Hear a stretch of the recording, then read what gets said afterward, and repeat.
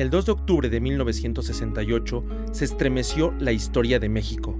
Hoy, más de 50 años después, sabemos que esa tarde el ejército disparó indiscriminadamente contra una multitud que había acudido a un mitin estudiantil. Pero en aquella época no había redes sociales. Al otro día, solo los testigos de la masacre sabían que había ocurrido realmente.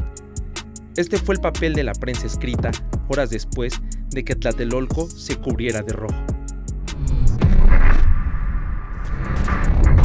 El diario La Prensa reportó el suceso como una balacera entre soldados y estudiantes, mientras que el Excelsior narró un duro combate para dispersar a los manifestantes y mostró fotos de soldados apuntando sus fusiles.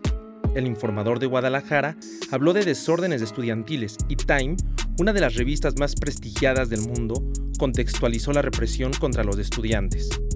El diario inglés The Guardian resaltó que las Olimpiadas en México se realizarían a pesar de lo ocurrido en la Plaza de las Tres Culturas. Ovaciones y novedades hablaron de un tiroteo entre soldados y supuestos francotiradores.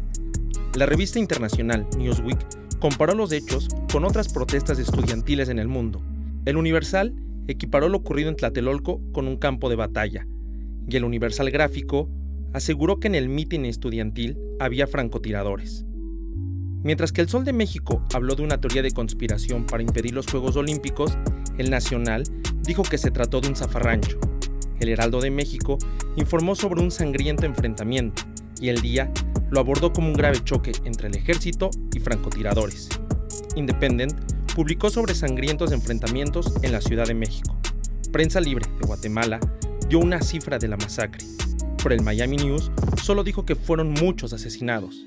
Alerta fue más contundente. El Chicago Tribune bajó el número de muertos a 19. El debate de Sinaloa insistió en un choque entre estudiantes y militares y, finalmente, la polémica revista Alarma resumió los hechos como una noche de terror. Estas fueron algunas de las portadas que leyeron los mexicanos al día siguiente de uno de los días más negros en la historia del país. Tuvieron que pasar décadas para saber qué pasó. Aunque el número de asesinados aún es desconocido, algunos reportes periodísticos hablan de cientos de muertos. Es por eso que el 2 de octubre no se ha olvidado.